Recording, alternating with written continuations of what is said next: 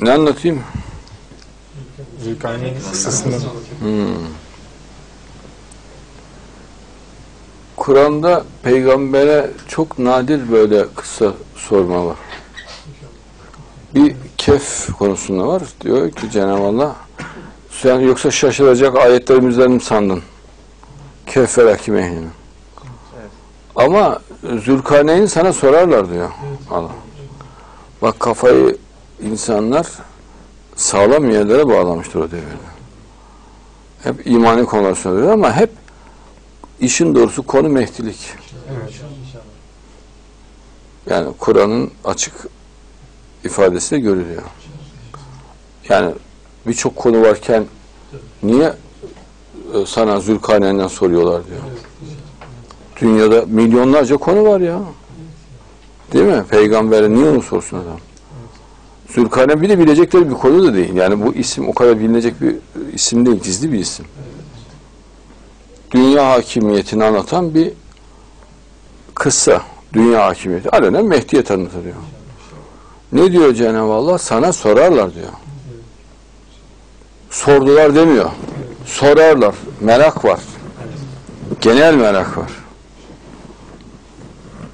Sana ey Muhammed Zülkarneyn hakkında sorarlar. Çok soran var diyor. De ki size ondan kimden? Zülkarneyn'den öğüt ve hatırlatma olarak bazı bilgiler vereceğim. Madem bu şahsı bu kadar merak ediyorsunuz diyor. Size bilgi vereceğim diyor. Mehdi merakı 1400 sene önce de aynı. 5000 yıl önce de gene aynı. Hz. Musa devrinde de aynı. Gerçekten biz ona Zülkarneyn yani Mehdi asrın Mehdi'si. Biz ona yeryüzünde, dünya üzerinde nasıl bir iktidardan bahsediyor Allah? Sapa sağlam. Maşallah. Tepmez devrilmez, yıkılmaz bir iktidar. Bir iktidar verdik. Ve ona her şeyden, her şeyden ama bir yol, sebep verdik. Öyle kafalı bir insan ki öyle geniş imkan var ki her şey hakkında Cenab-ı Allah bilgi veriyor.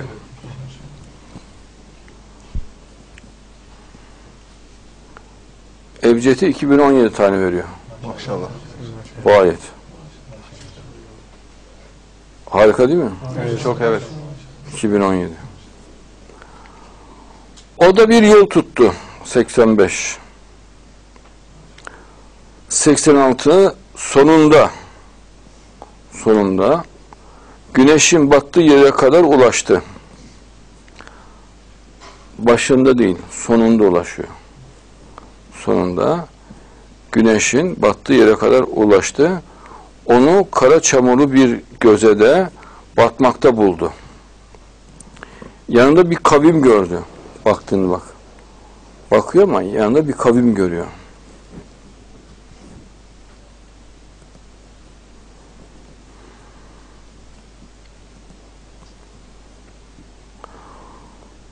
Bak sonunda güneşin battığı yere kadar ulaştı ve onu kara çamurlu bir gözede batmakta buldu güneşi.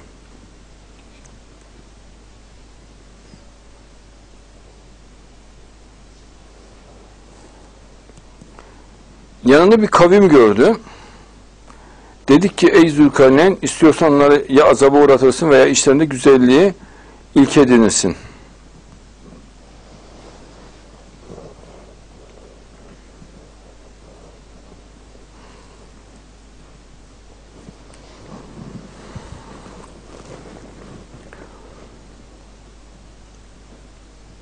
Güneşin battığı yer. Güneşin battığı yer neresi? Şu an dünyada Japonya olarak görünüyor. Kara çamurlu bir göze. Orada bir tsunami olayı oldu biliyorsunuz. Kara çamurlu bir görüntü oldu. Evet. Müthiş bir kara çamur oluştu. Güneşin de battığını gösterdiler o kara çamurda. Nerede? Televizyonda. Evet. Yanında bir kavim gördü. Bak böyle düğmeyi ayarladıkça bir görüntüye ulaşıyor. Önce güneşin battığı yeri görüyor. Sonra bir ayarlıyor, yanında bir kavim görüyor. Dedi ki ey Zülkarneyn, onları ya azaba uğratırsın veya işlerinde güzelliği ilk edinirsin. Mehdi için de bu geçerlidir. İsterse savaşta da netice alabilir. Ama güzellikte de netice alabilir. Mehdi neyi tercih ediyor? Güzellik. Güzelliği. Yani savaş helal. Gerektiğinde değil mi? Devlet karar verir savaşırsın. Ama güzelliği de e, yapabilirsin diyor. Güzellikle. Zülkarneyn kimi, neyi tercih ediyor? Güzelliği. Evet. Şiddet tercih etmiyor. Süleyman gibi. Mehdi için damla kan akıtmaz diyor. Evet. Burada ona işaret ediyor. E, dedi ki Zülkarneyn kim zulmederse biz onu azaplandıracağız. Sonra Rabbine döndürür. O da onu görmemiş bir azapla azaplandırır. Aynı Süleyman, Hazreti Süleyman'daki gibi. Bir tehdit var sadece. Ama uygulama yok. Süleyman'da da tehdit var. Uygulama yok. Kim iman eder ve salih amellerde bulunursa, iman ediyor ama samimi davranışlar bulunursa, onun için güzel bir karşılık vardır. Bir karşılık değil mi? Bak, güzel bir karşılık. Ona buyruğumuzdan kolay olanı söyleyeceğiz. Yani Allah'ın hükümlerinde ne varsa onları anlatacağız. Ama tahfif olacak diyor. Kolaylık yapacağız. Din tahfif olacak. Kolay olan ne hüküm varsa onu bildireceğiz. Yani size zorluk bildirmeyeceğiz. Mesela namazsa namaz en kolay haliyle. Oruçsa en kolay haliyle. Zekat en kolay haliyle. Cihat en kolay haliyle. 89'da sonra yine bir yol tuttu. Bunlar çeşitli dönemler. Belki 1989'a işaret ediyor. Sonunda güneşin doğduğu yere kadar ulaştı. Sonunda. Ve onu kendi için siper kılmadığım bir kavim üzerine doğmaktayken buldu. Ne diyor?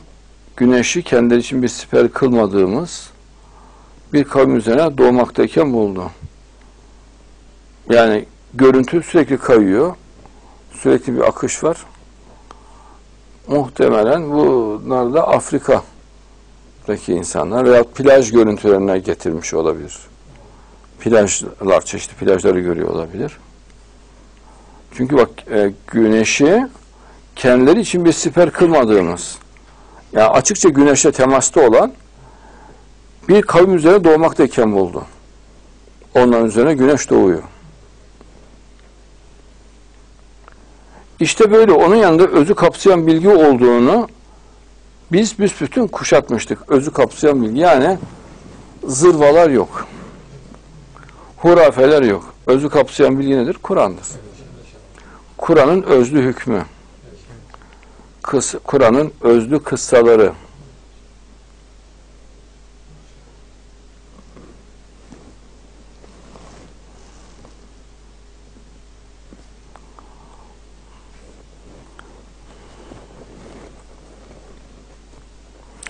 Zülkarneyn de bilinecek bir konu değil ayrıca. Yani peygambere sorulması çok manidar. Soran da manidar. Ekibi de manidar. Sordurdukları. Bir başı var bunların belli. Soranların. Bir de sordurdukları var. Bir ekip oluşturuyor. Yani Zülkarneyn o devirde bilinecek birisi değil. Ya kaynaklara baktığınızda bulamazsınız. Yani Tevrat'ta çok ince araştırıldığında işaretler görülüyor. Kehfi de bulamazsınız. Yani özel bilgiler bunlar.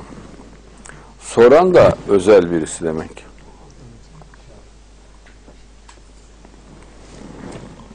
Peygamberimiz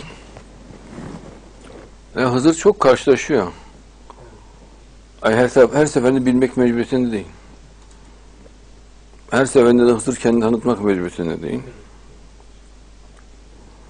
Ama böyle işleri sever Hızır. İnşallah.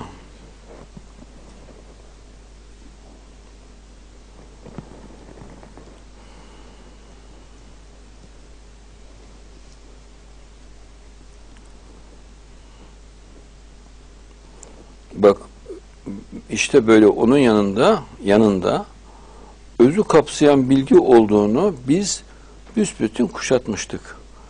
Belki özü kapsayan bilgi onun kitapları, eserler onun yanında olan. Büsbütün kuşatmıştık, her yerdeydi. Allah hepsinden haberim var diyor.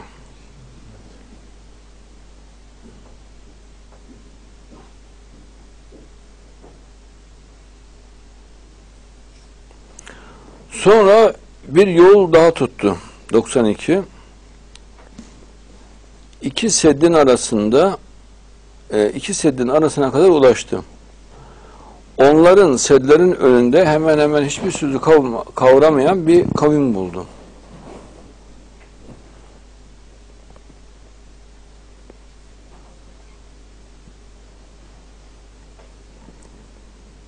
Bak iki seddin arasına kadar ulaştı.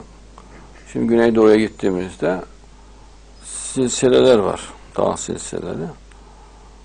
Zaten o PKK'ların oldukları yer tamamen bir set alanı. Yani o dağlık bölge, sığındıkları dağlık bölge bir set alanı. Onların önünde hemen hemen hiçbir sözü kavramayan bir kavim oldu. E, adamlar laf söz dinlemiyor, anlamıyorlar. Anarşist bir kavim değil mi? Evet, Dediler ki ey Zülkarneyn gerçekten ya Ecüc ve Mecüc yani bu anarşist ve teröristler yeryüzünde bozgunculuk çıkarıyorlar. Yani terör, anarş çıkarıyorlar. Bizimle onlar arasında bir sed inşa etmen için sana para verelim mi, vergi verelim mi? Mehdi'den en hoşlanmadığı şey paradır. Para teklif edilmez.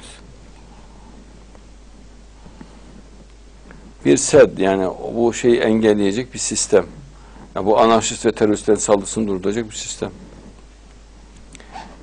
Zülkarneyn dedi ki Rabbim beni kendisinde sağlam bir iktidarla yaşayış kıldı. Bak Rabbimin beni kendisinde sağlam bir iktidarla yerleşik kıldığı güç ve nimet ve imkan daha hayırlıdır. Benim param, şeyim, her şeyim var diyor. Maddi güce ihtiyacım yok diyor.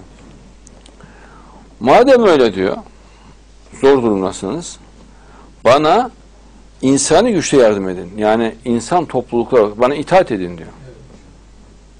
Bana bağlan, yani parayı verip köşeye çekilmeyin de, para sizde kalsın ama bana itaat edin.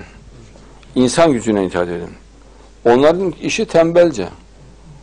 Parayı verelim, köşeye çekilelim diyorlar. Sen hallet. Paranız sizde kalsın.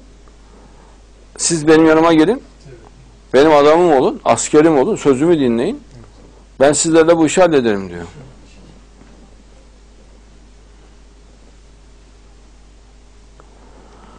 Madem öyle bana insanı güçle yardım edin de sizinle onun arasında bir sapasağlam engel kılayım. E bak sizinle onlar arasında sapasağlam bir engel kılayım. Yani anarşi, terör hepsini kaldırayım. Anarşist hiçbir şey bırakmayayım. Bana demir kütleleri getirin. Silah. Büyük çaplı silahlar. İki dağın arası eşit düzeye gelince körükte inirdi yani ateş. Onu ateş haline getirinceye kadar bu işi yaptı. Sonra dedi ki bana getirin üzerine eritilmiş bakır dökeyim. Yani teknolojiyle bu iş hallolurdu. Silah gücü, ateş gücü. Değil mi? Ateşten bahis var. Demirden bahis var. Demirlerin ateşinden bahis var. Bana getirin üzerine eritilmiş bir bakır dökeyim. Kıtran. Kıtran. Hem bakıra işaret var hem katrana işaret var. Ama daha ziyade işte elektronik eşyada biliyorsunuz katran yerine ne oluyor? Kablolar var. Kaplayıcı olarak. Plastik. Ama en ziyade bakır. Yani elektrik aksamda bak, bakır kullanılıyor. Böylelikle ne onu aşabilir ne onu delmeye güç yetirebildiler. Demek ki ne aşılabilecek gibi olacak ne de delmeye güç yetirecekler. Yani sapa sağlam olacak her şey. Askeri gücün kahredici olması gerekiyor.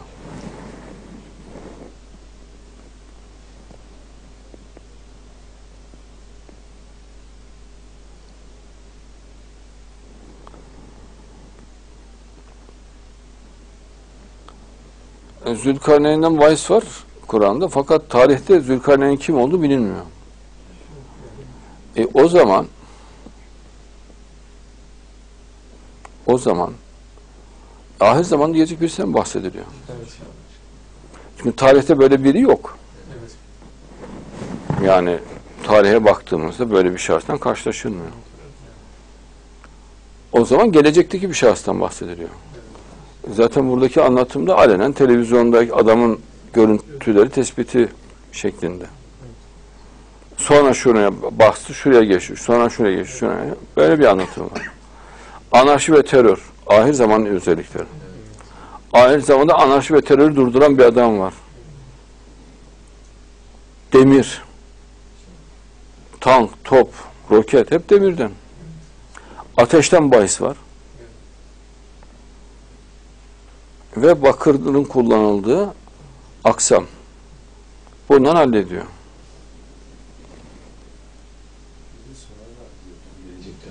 Evet. Sorarlar diyor, gelecekle alakalı bir şey. Yok canım. Zülkarneyn kim diyorlar? Nedir? Ya? Gelecekle ilgili bir ifade yok orada. Geçmişi de sorabilir. Yani sorarlar. Sorabilir mi? Der, der ki mesela geçmişte Zülkarneyn'in birisi varmış. Kim bu derler. Geçmiş gelecek falan demiyorlar. Sadece soruyorlar. Evet. Kim bu Zülkarneyn diyorlar.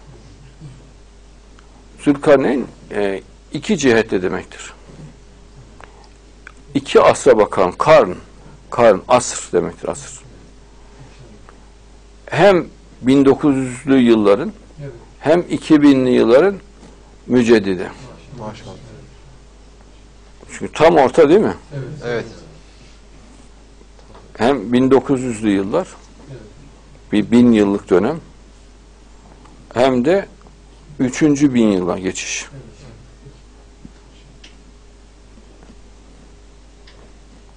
İkinci bin bitmiş. Üçüncü bin yıla geçiş. Mehdi neresinde? Bunun ortasında. O zaman iki cihetli oluyor. Hem iki binlere bakıyor. Yani 1900'lü yıllar. Hem 2000'li yıllara bakıyor. İki büyük e, karın devresi. Binlik yıllara bakıyor.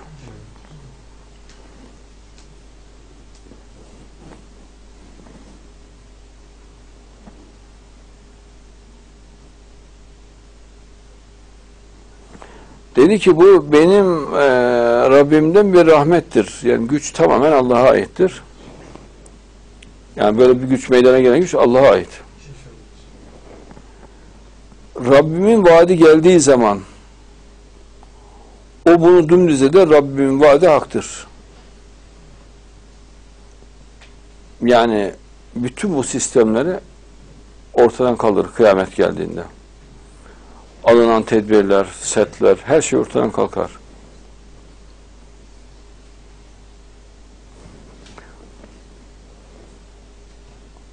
Ama ikinci anlamı da yani ayetin ikinci anlamı da Rabbin vaadi geldiği zaman yani Mehdi geldiği zaman vaad edilen Mehdi geldiği zaman o bunu dümdüz eder. Anarşi ve terörü dümdüz eder. Anarşistleri yerle bir eder. Hepsini etkisiz hale getirir. Bu anlama da gelebilir.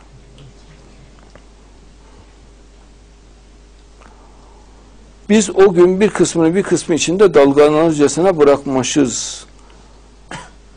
Bir kısmı bir kısmı içinde dalgalanırcasına bırakmışız. Yani müthiş bir mücadele. iki taraf birbirine mücadele ediyor. İman edenler de etmeyenler. İki tarafın şiddetli mücadelesi. Surada üfürülmüştür. Artık kıyamet son devir. Artık onların tümünü bir araya getirmişiz. Herkes, bütün Müslümanlar küfür,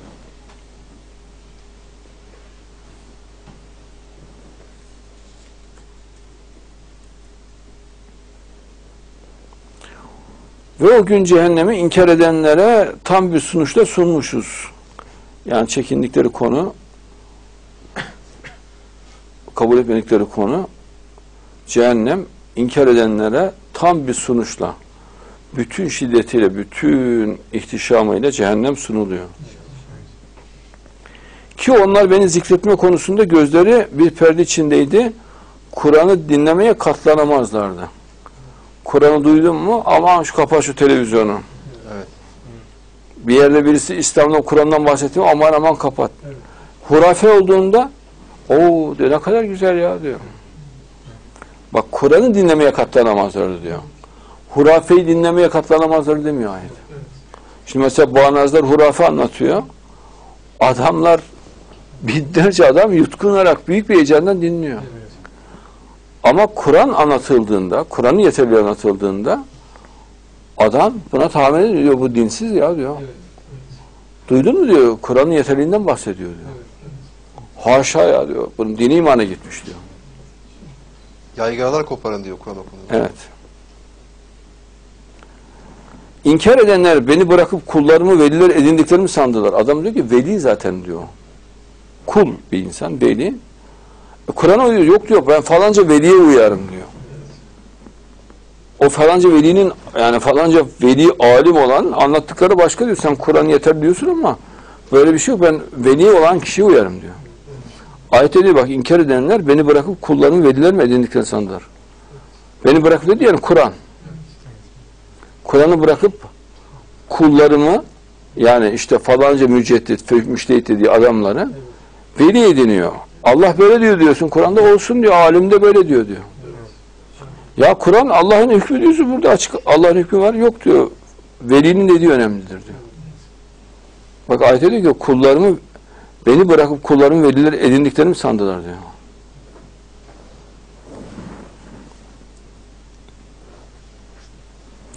Onların dünya hayatındaki bütün çabaları boşa gitmişken kendilerini gerçekte güzel iş yapmakta sanıyorlar. Mesela misvaklanıyor, cübbeyi güzelce böyle yavaş yavaş giyiyor, sarığını takıyor. Ona baksan o çok doğru yolda. Diğerlerini kafir zannediyor. Bak ayet diyor ki inkar edenleri beni bırak kulların velileri edindiklerini sandılar. Onların dünya hayatındaki bütün çabaları boşa gitmişken çaba ama bayağı bir çaba yapıyor. Namaz kılıyor, oruç tutuyor, zekat veriyor, bayağı bir uğraşıyor. Ya uğraşıyor değil mi de emek veriyor yani İslam'a. Allah affetsin.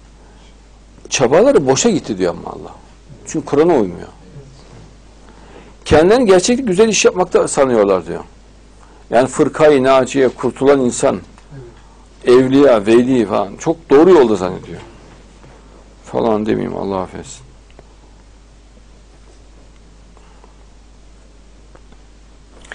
İşte inkar etmelere, yani Kur'an'ın yeterli olduğunu kabul etmemelere, ayetlerimi ve elçilerimi alay konusu edilmelerinden dolayı onların cezası cehennemdir.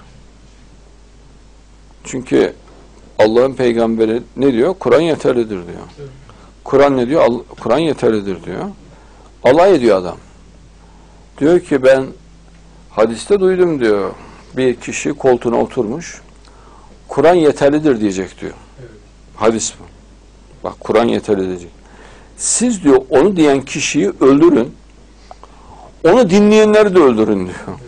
Bak görüyor musun şeytan nasıl tedbir almış? Nasıl sağlama bağlıyor? Ya Kur'an yeterli diyenler öldürün diyor özetle. Adamlar diyor ya diyor, 1400 seneden beri sizin kadar akıllı adam çıkmadı mı diyor. E çıkmış ama öldürmüşler adamlar işte. Çıkmaz olur mu? Öldürün diyor yani.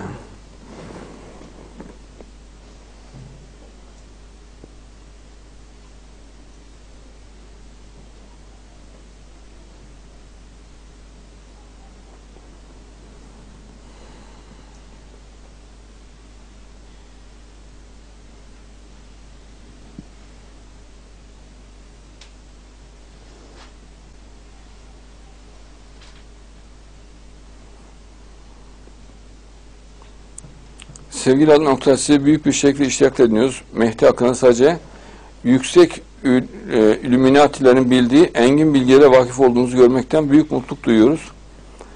Mehdi sünneti uygulayacağınızı da anlamaktayız.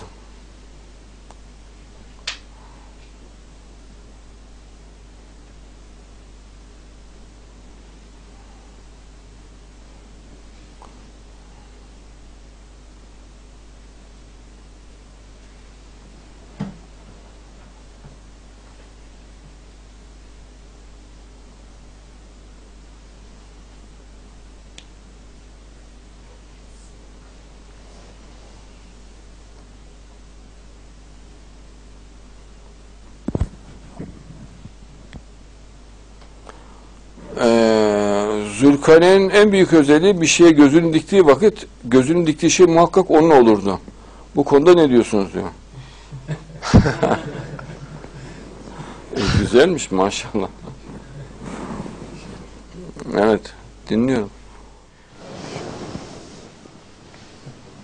E, siz bir şeyler anlatın, dinleyeyim sizden.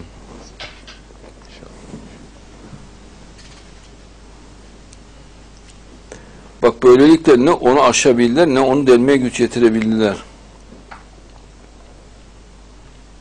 Çünkü şu an modern savaşlarda aşmak mesela tankla falan aşabiliyorlar.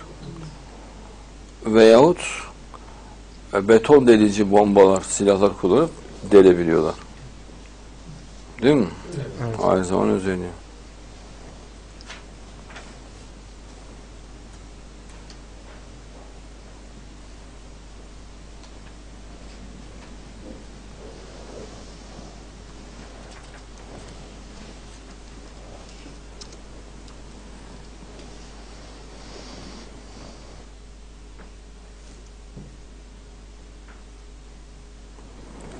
Saat kaç? İki. O zaman bana bir ile iki arasının izlemesi gelsin.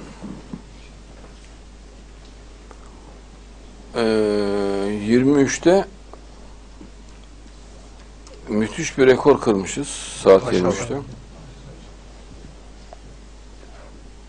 Birde de çok yüksek. Bir de iki arası şu an gelsin bana.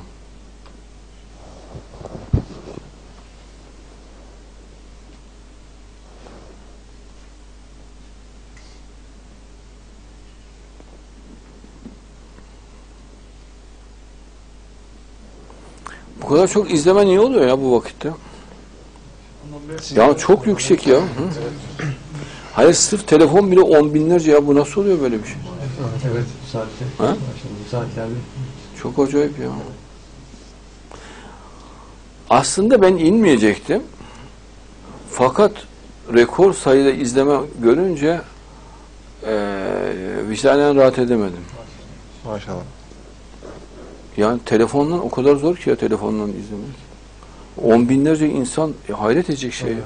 Maşallah.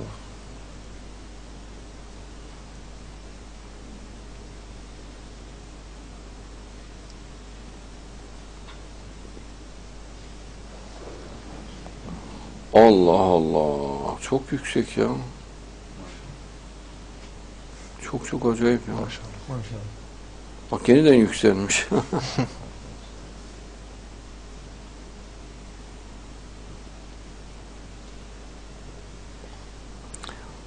o zaman eee, Süleyman kıssasını anlatayım. İnşallah hocam.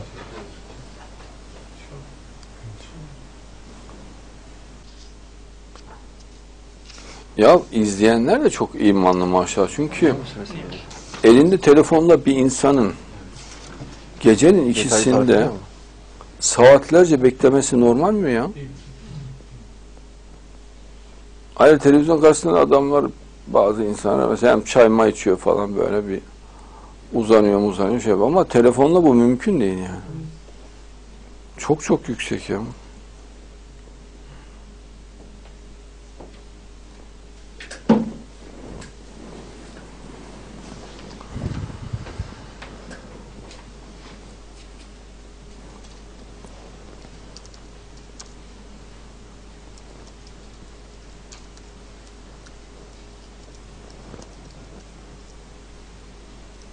Hayret Hızır Aleyhisselam da imtihan oluyor. Bu kadar harikayken makul görüyor kendini.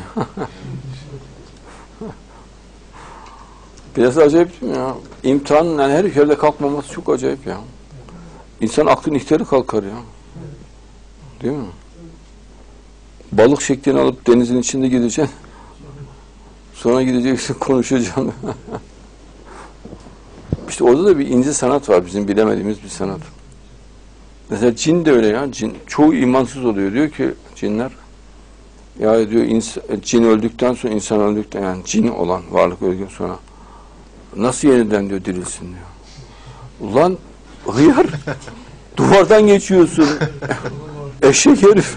Ruhsun işte görüyorsun. Duvardan geçiyorsun ya.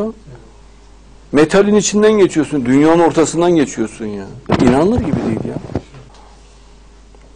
Senin kitabın İsrail, e, senin kitaplarında İsrail'in Mescid-i Aksa'yı yıkıp Süleyman Mabedi'ni inşa edeceğini ve böylece bekledikleri Mesih'in geleceğini yazmıştın. Ee, yani bunu isteyenler var. Yani bu doğru. Mescid-i Aksa'yı yıkıp Süleyman Mabedi'ni o yere yapmayı düşünenler var.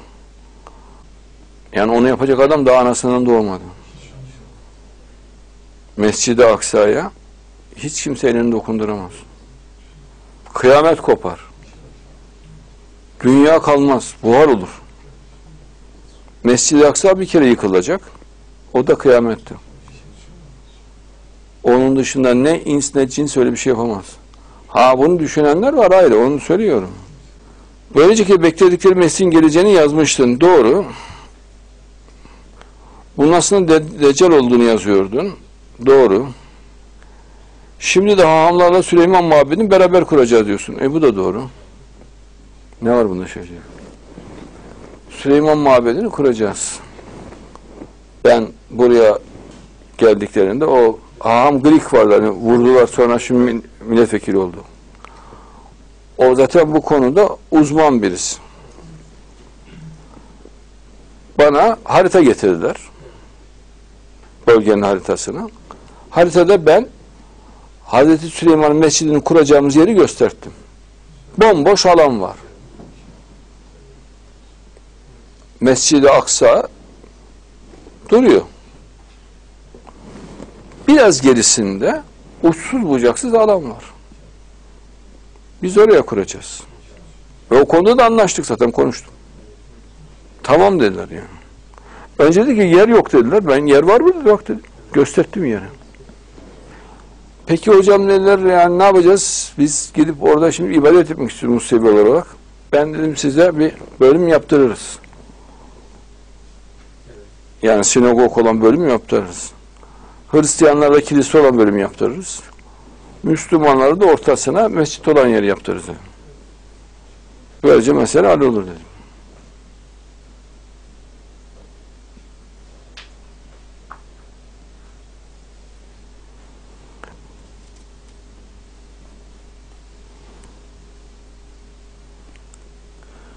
Ee, Süleyman kıssasını mı anlatayım, Yusuf kıssasını mı anlatayım? Bana bir internetten yazsınlar şimdi.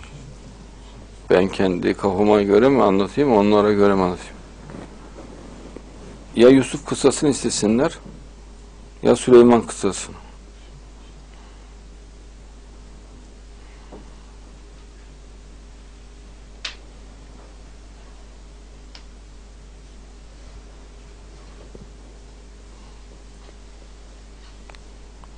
Hazreti Süleyman'ın bir yüzüğü var. Yakuttan, kırmızı yakuttan. Ee, şeyi altın. Madeni altın. Kırmızı yakut oturtulmuş içine. Üstünde de o altı köşeli yıldız var. Davut yıldızı. Hazreti Süleyman binlerce, on binlerce cini onun içine dolduruyor. Yüzün içine. Elinde taşıyor. Ya mübarek cesarete bak ya. on binlerce cin yüzünün içinde elini kafasının altına koyup uyuyor ya. Şahane cesaret var değil mi maşallah? Maşallah. Birçok insan kafayı sıyırır ya. He? On binlerce cin ya. Ve istediği an eee yüzüğün içinden çıkıyorlar. İstediklerini yapıp geri dönüp yine yüzüğün içine giriyorlar.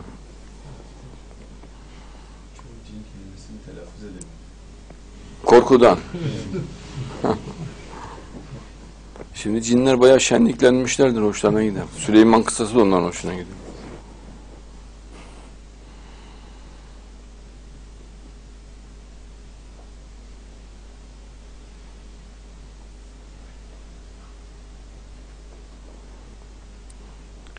Bana ya şimdi ilk örnekleri kısaca göndersen ben ona göre devam edeceğim.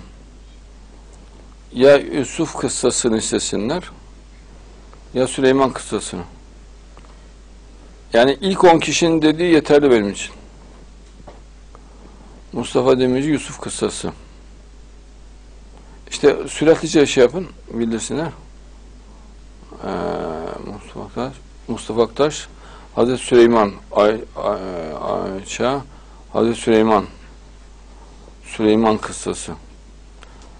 Ee, Yunus, Yusuf kıssası diyor. Süleyman kıssası, Efe Hüseyin, Yusuf kıssası, Yasemin, Süleyman kıssası, Hal, e, Halim, Demircay'la, Süleyman inşallah diyor Süleyman kıssası, Süleyman, Süleyman, Süleyman, Süleyman, Mustafa Demirci, Yusuf kıssası. Ama Süleyman hakim gördüğüm kadarıyla. Evet. Süleyman, evet. Süleyman, Süleyman, Süleyman, Süleyman, Sü- Yusuf, Yusuf, Yusuf, kısa, Yusuf kısası, Süleyman kısası, Yusuf kısası, Süleyman kısası. Evet, yani yüzde yetmiş ağırlıklı Süleyman diyorlar. Ee, Süleyman çok yakışıklıydı, bayağı güzel bir insandı. Bir de çok süslü, güzel, ihtişamlı giyiniyordu. Gözleri sürmeli falan. Acayip güzel. Ee, yani peygamber güzelliği var tabii, çok muhteşem. Andolsun şeytandan Allah'a sığının Davud'a ve Süleyman'a bir ilim verdik. Bizi inanmış kullarından birçoğuna göre üstün kılan Allah'a hamdolsun dediler. Ee, Süleyman'da cin ilmi var. Yani öyle az boz bir ilim değil. Ama yürekte mangal gibi. Ya muhabbet ediyor Allah Allah insan birçok insan kafayı sıyırır ya. Diziliyorlar ya selamun aleyküm nasılsınız falan. Nasıl oluyor ya maşallah. Olan aklı da gider birçok insanın ya.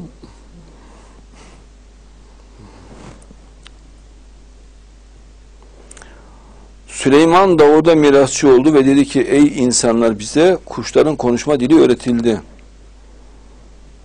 Özel bir ilim. Bize her şeyden bol bir nimet verildi. Akıl almaz mal akış oluyor. O devirde. Afrika'dan ta Afrika'dan böyle yabani kuşlar, maymunlar sırf sarayda hoşuna gitsin diye. Bu renkli papağanlar. Açsana o şeyi. Sobayı aç. Çok güzel ağaçlar. En kaliteli ağaçlar böyle. Ceviz ağaçları şu bu falan kesilmiş. Tomruk halinde yani inşaatlarda kullanmak üzere.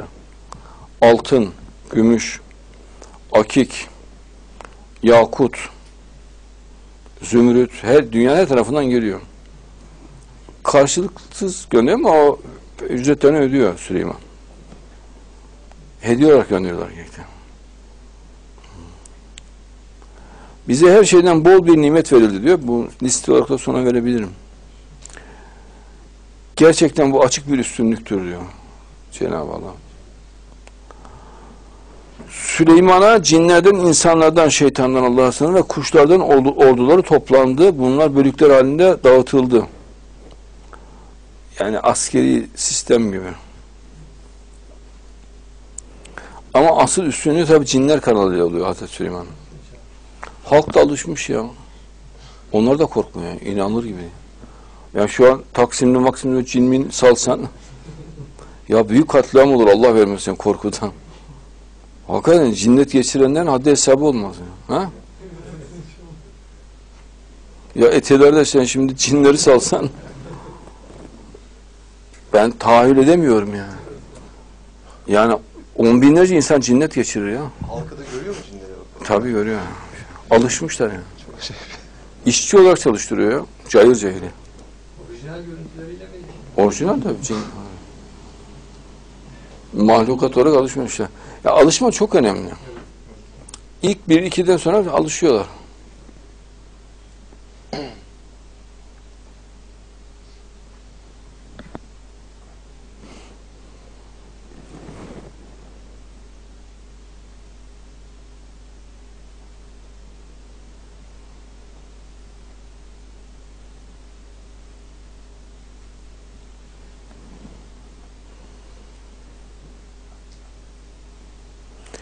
Nihayet karınca vadisine geldiklerinde bir dişi karınca dedi ki ey karınca topluluğu kendi yuvalarınıza girin Süleyman ve ordulara farkında olmaksızın sizi kırıp geçirmesin.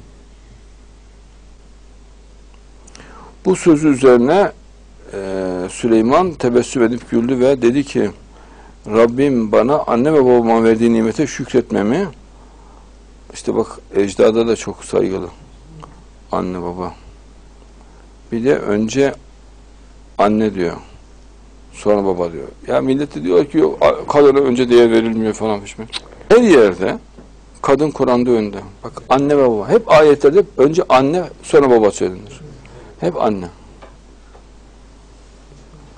Mesela bak diyor ki Allah eşleriniz, şunlar, çocuklar falan. Ama anne hiç dahil etmiyor Allah. Babalarınız diyor. Yarım kalmasından hiç korktuğunuz ticaret. Ama anneleriniz demiyor. Anne hep korunuyor Kur'an'da. Hep önceliklidir kadın.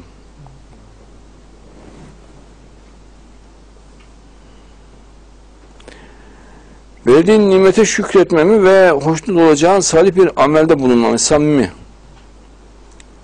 İlham et. Yani sen bana sürekli ver ya bu bilgiyi diyor. Enaniyet yapmıyor. Bilgi Allah'tan diyor. Ve beni rahmetinle salih kulların arasına kat.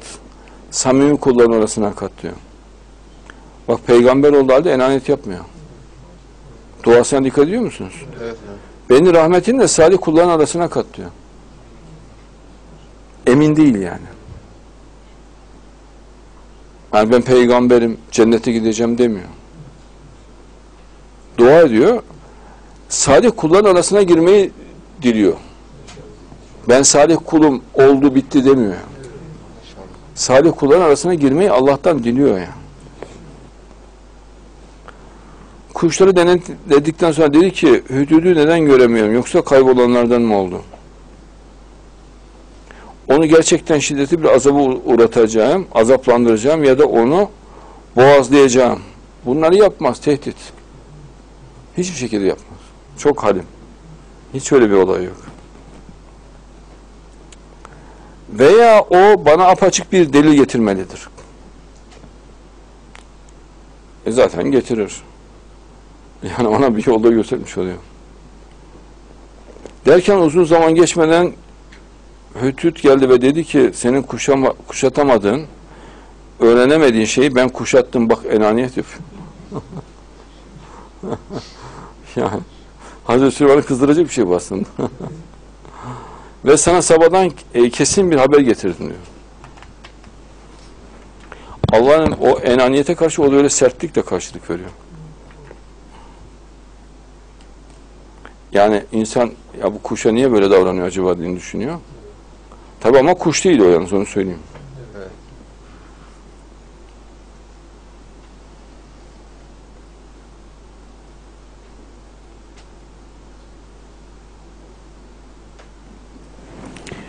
Gerçekten ben onlar hükmetmekte olan bir kadın buldum.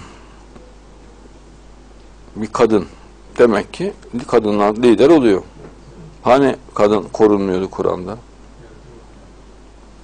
Ona her şeyden bolca verilmiştir. Hem de bolca, zengin. Ve büyük bir tahtı var.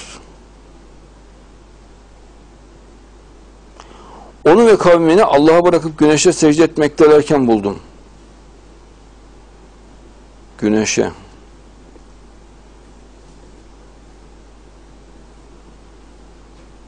Kızılderililer gibi.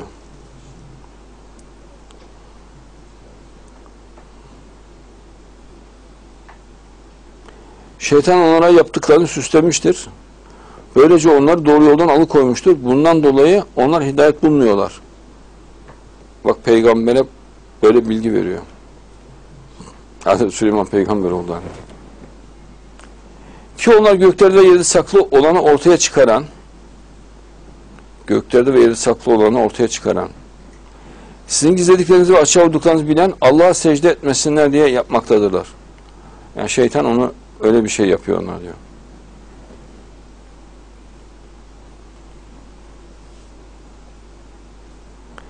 Göklerde ve yerde saklı olanı ortaya çıkaran göklerde saklı olan İsa yerde saklı olan kim? Mehdi. ortaya çıkaracak olan kim? Allah. Ve sizin gizlediklerinizi ve açığa vurduklarınızı bilen, gizlediklerinizi ve açığa vurduklarınızı bilen. Allah'a secde etmesinler diye yapmaktadırlar. Yani Allah'ın gücünü söylüyor.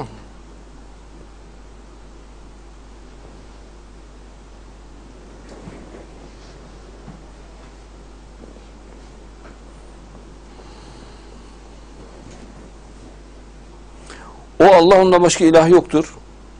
Hütüt devam ediyor. Büyük arşın Rabbidir. Yalnız bu bilgi tabi peygamber bilgisi buradaki bilgiler anlattıkları. Yani öyle herkesin bileceği bilgi değil. Süleyman bakacağız doğru mu söyledin yoksa yalan yalancılardan mı oldun dedi. Yani söylediği kısmı öbür kısmına doğru da ama kadınla ilgili söyledikten doğru mu yanlış mı bakacağız diyor. Bu mektubumla git, onu kendilerine bırak. Sonra onlardan biraz uzaklaş, böylelikle bir bak, neye başvuracaklar? Hütüt mektubu götürüp bırakmasından sonra Sebe Melikesi Belkıs dedi ki, Ey önde gelenler gerçekten bana oldukça önemli bir mektup bırakıldı.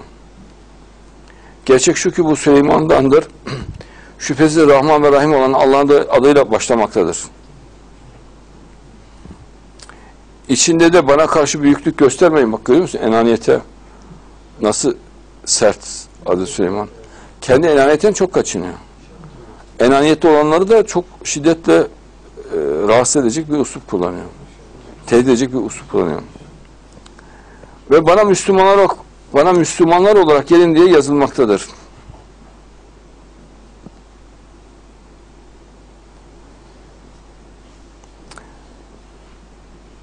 Sonra Belkıs diyor ki Ey önde gelenler bu işimde bana görüş belirtin. Siz her şeye şahitlik etmedikçe ben hiçbir işte kesin karar verici değilim. İstişare ediyor. Bak devlet başkanı olduğu halde istişare etmenin önemi belirtiliyor. Kesin hüküm vermeden önce mutlaka istişare etmem gerekir diyor. Devlet yönetimine Kur'an'dan delil. Derler ki biz kuvvet sahibiyiz ve zorlu savaşçılarız. Yani güçlü bir askeri güce sahibiz. İş konusunda karar senindir. Artık sen bak. Neyi emredersen biz uygularız diyorlar. Askerin de yapması gereken budur. Bilgiyi verip, askeri gücünü bildirip, takdiri hükümete bırakıyor.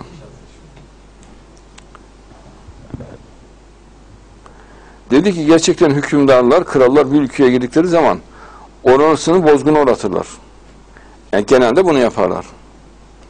Ve halkından onur sahibi olanları hor ve aşağılık kılarlar. Hep tarihte böyle olmuş. Böyle ata eşeğe ters bindiriyorlar, katran sürüyorlar. Çok aşağıda. Bütün tarihe bakın hep öyledir. İşte onlar böyle yaparlar diyor. Yani dehşet verici bir sahne anlatıyor. Onlara bir hediye göndereyim de bir bakayım elçiler neyle dönerler diyor kadın. Elçi hediyelerle Süleyman'a geldiği zaman sizler bana mal ve yardımla bulunacaksınız. Allah'ın bana verdiği size verdiğinden daha hayırlıdır. Bak o da kabul etmiyor. Şey, Zülkarneyn kabul etmiyor para. Süleyman da kabul etmiyor. Allah'ın bana verdiği size verdiğinden daha hayırlıdır. Yani ben hediye kabul etmiyorum diyor. Bediüzzaman da hediye kabul etmiyor biliyorsunuz. Hayır siz hediyelerinizle sevinip övünebilirsiniz. Yani enaniyet, gurur yapabilirsiniz. Bak hep enaniyete karşı tedbir alıyor. Büyüklük hissine karşı. Onlara dön. Biz onlara öyle ordularla geliriz ki karşı koymaları mümkün değil. Tehdit. Bak operasyon yapmıyor ama tehdit. İşte Türk ordusundan da bizim istediğimiz bu. Yani müthiş bir güce sahip olup tehdit gücüne erişmez. Biz onları oradan horlanmış, aşağılanmış ve küçük düşürülmüş olarak sürüp çıkarırız. Bu da bir tehdit.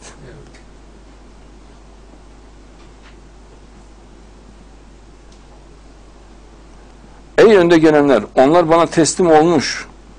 Müslüman olarak gelmeden önce sizden kim onun tahtını bana getirebilir dedim. Cinlerden ifrit sen daha makamından kalkmadan ona san, onu sana getirebilirim. Ben gerçekten buna karşı kesin olarak güvenir bir güce sahibiyim dedi.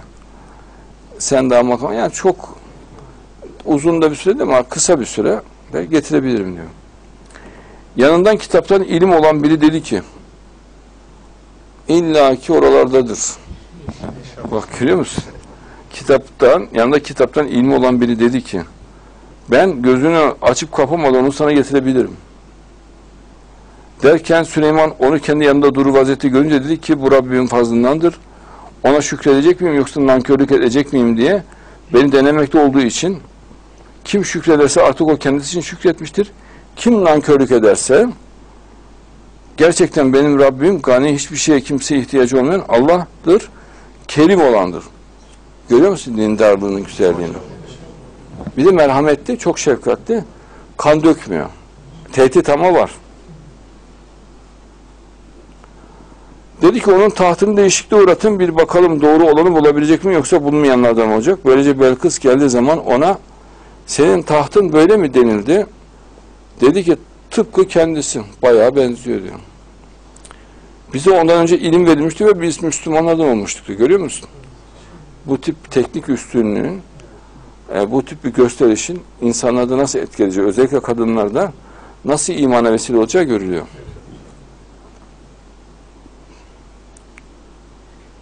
Allah'tan başka tapmakta olduğu şeyler onu Müslüman olmaktan alıkoymuştu. Gerçekte o inkar eden bir kavimdendi. Ama iman ediyor. Ona köşke gir denildi. Onu görünce derin bir su sandı ve eteğini çekerek ayaklarını açtı. Süleyman dedi ki gerçekten bu cam e, saydam camdan onunla düzeltilmiş bir köşk zeminidir. Ben şaka yaptım diyor.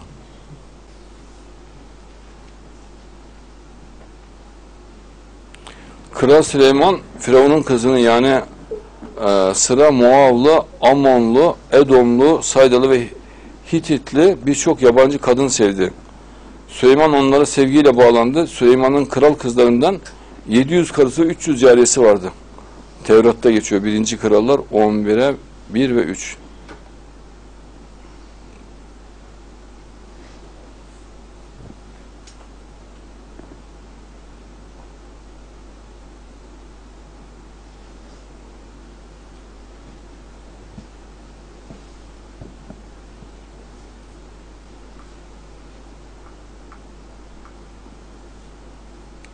Karınca da dişi karınca değil mi şeyde? Evet.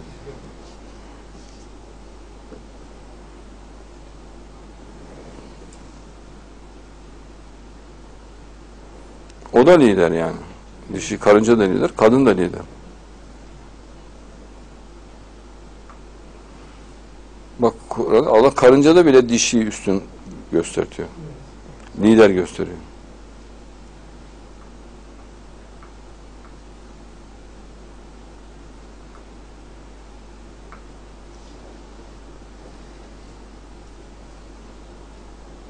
Saat kaç? 20 var. Üçe? 20. Hmm. Üçe kadar devam edeceğim. Üçte de bu yüksekse çok acayip tabii o zaman. Şu an çünkü çok yüksek izleme. Bina ustaları da onun emrinde. Bütün mason takımı. Bina ustası. Ne demek İngilizce? Mason değil mi? Evet.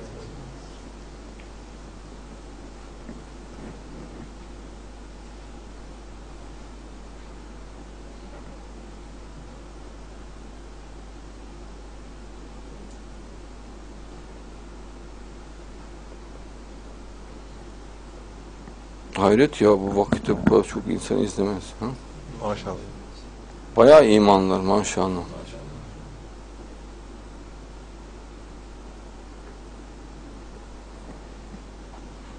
Ama bana bir muhabbetleri var benim gördüğüm. Ha biraz sırf ilimle, irfanla biten bir şey değil yani. Siz anlatıyorsunuz, dörtte biri bile yok olmuyor. Olmuyor. Ha? Hiç olmuyor.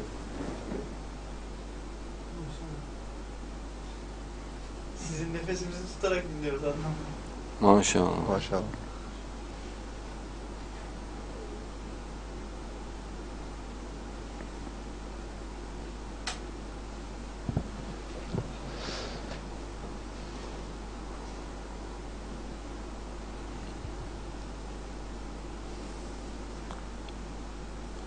Öğretmen Muzaffer öğretmen bize selamlarını bildiriyor.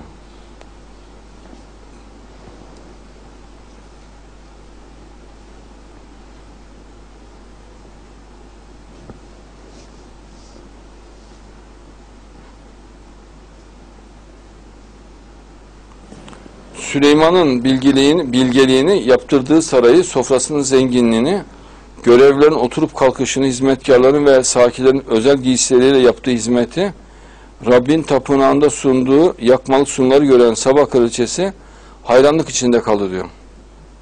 İkinci tarihler 9'da 3, 4. Süleyman'ın sarayının bir günlük yiyecek gereksinimi şu, şu şekilde diyor. 30 kor yaklaşık 4 ton ince, 60 kor yaklaşık 8 ton kepekli un.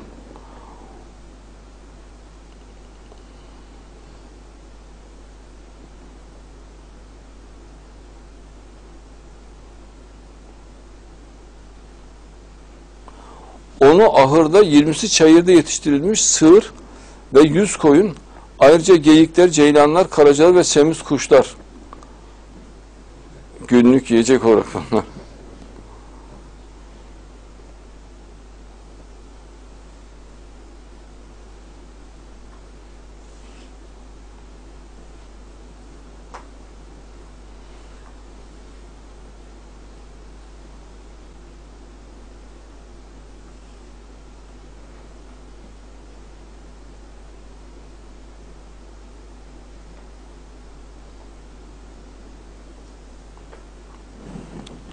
Natali Avazyan. Ermeni bir yazar. 59 saniye önce 60 saniye önce bir soru soruyor. Anladıkla Süleyman'ın özdeyişlerinden paylaşsanız. E zaten oralardan kaynaklar veriyorum.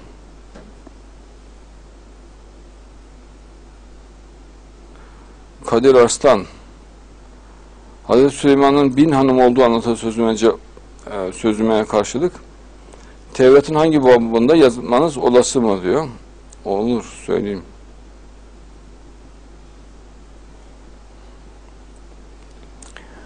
Hazreti Süleyman devrinde tapınağın içinde Rabbin ahit sandığını konacağı iç oda hazırlandı.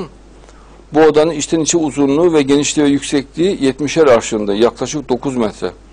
Tavan yüksekliği de böyle bayağı yüksek. Süleyman odayı saf af altınla kaplattı. Zenginliğe bak ya. Tapınağın içini saf altından kaplattı. İç odanın önünde altın zincirler asıp orayı da altından kaplattı. Böylece iç odadaki sunak dahil tapınağın içi tamamen altınla kaplanmış oldu. Birinci Krallar 6'ya 19.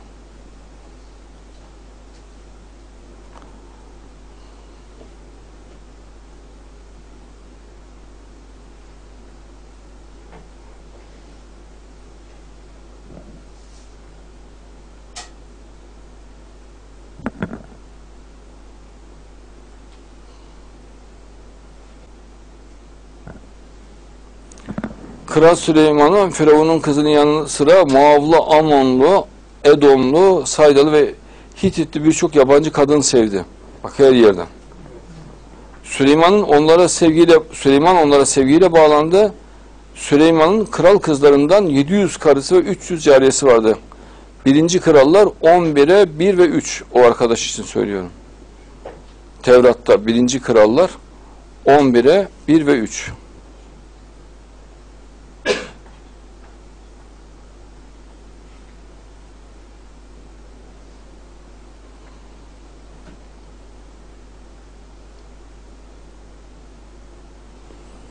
Saat kaç?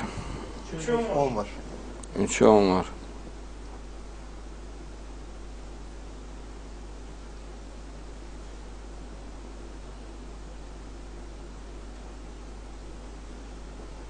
Süleyman çok dindar. Hazreti Süleyman çok mütevazi. Sürekli Allah'ı anlıyor. Ama tabi ilahi mevhibe yani Allah'tan özel bir destek var. Bir de çok cesur. Yani o cinlerle birisi uğraşmaya kalksa Allah muhafaza ya.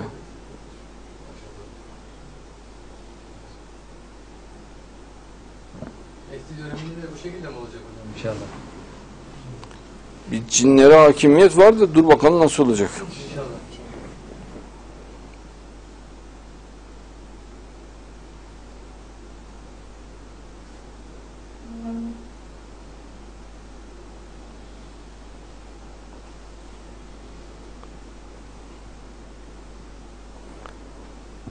Evet birisi bir şey sorsun bakın bana.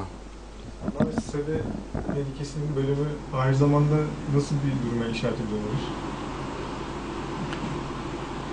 kadın liderlerin olacağına, dünyayı yönetenlerin kadın liderlerden oluşacağı anlaşılıyor. Müthiş bir zenginlik oluşacağı anlaşılıyor. Ona işaret var.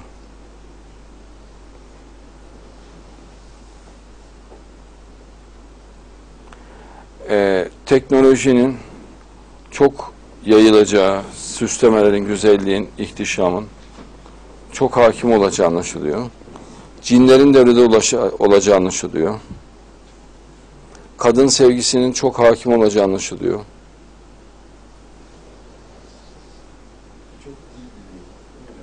Kim? Hazreti Süleyman çok dil biliyor. E, kuşların dilini biliyor diyor. O ayrı bir şey. Konuşuyor muydu acaba? Yani onları bir şekilde anlıyor ama yani dilden kasıt nedir? Yani o çok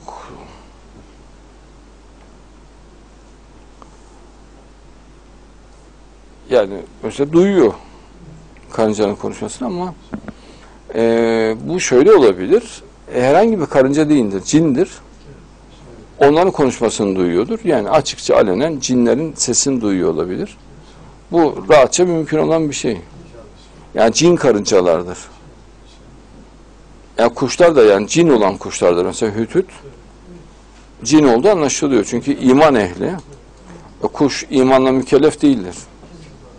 Yani Kur'an'a göre hayvanlar imanla mükellef değil ama o tevhid ehli.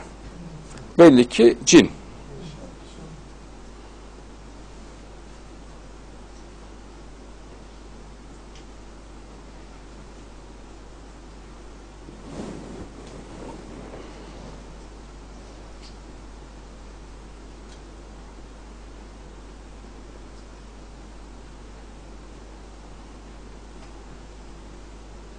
Her durumda hemen Allah'a yöneliyor adam. Bir olay. Ee, sürekli bir Allah'la yoğun ve çok akılcı bağlantısı var. Çok mütevazı. O çok önemli. şey. Hiç unutmuyor Allah'ı. Hemen şükrediyor. Yani hiçbir dakika, hiçbir saniye unutmuyor. Tahtı getirme şeyi madde nakli gibi bir şey.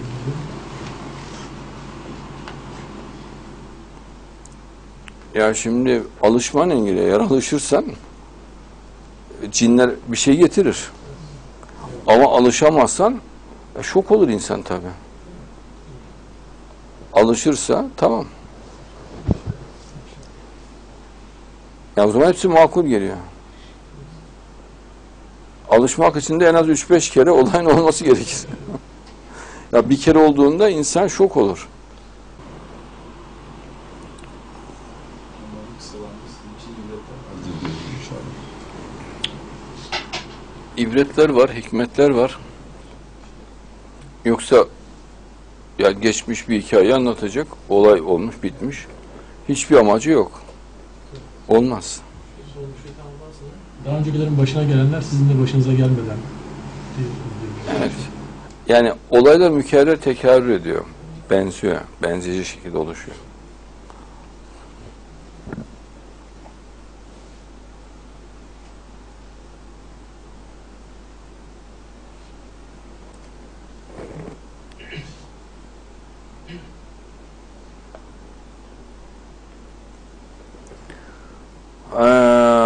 Süleyman fil dişinden büyük bir taht yaptırıp saf altından kaplattı. Tahtın altı basamağı arka kısmında yuvarlak bir başlığı vardı. Oturulan yerin iki yanında kollar her kolun e, yanında birer aslan heykeli bulunuyordu. Altı basamağın iki yanında da 12 aslan heykeli vardı. 12 aslan.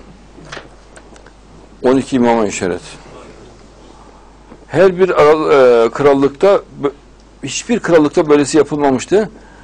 Kral Süleyman'ın e, kadehleriyle Lübnan ormanını adındaki sarayın bütün eşyaları saf altından yapılmış. Bak Lübnan Ormanı adı altında bir şey var. Ee, sarayı var. Saf altından yapılmış. Hiç gümüş kullanılmamıştı. Çünkü Süleyman döneminde gümüşün değeri yoktu. Yani maden olarak kabul edilmiyormuş yani. Kral Süleyman dünyanın bütün krallarından daha zengin, daha bilgeydi. Ee, krallığı döneminde gümüş taş değerine düştü. Zibil gibi altın var böyle.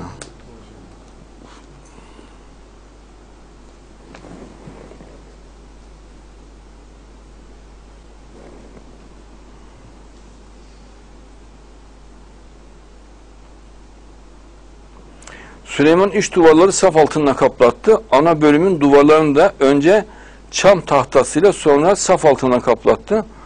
Hurma ağacı ve zincir motifleriyle süsletti. Ya tam sanatçı. Bak bağnazlara bak. Bu güzel peygamberin sanat anlayışına bak. Tapınağı değerli taşlarla bezetti. Kirişleri, kapı eşiklerini duvarlarla eee, kapıları altınla kaplattı. En kutsal yerin iç duvarlarını 600 talant, yaklaşık e, 20.7 ton saf altınla kaplattı. Altın çivilerin ağırlığı 6 şekerde e, yaklaşık 575 gram altın çivilerin ağırlığı. Süleyman yukarı odaları da altınla kaplattı. Altın kaplamayı çok seviyor Hazreti Süleyman. İkinci tarihler 3, 4, 4'ü 9.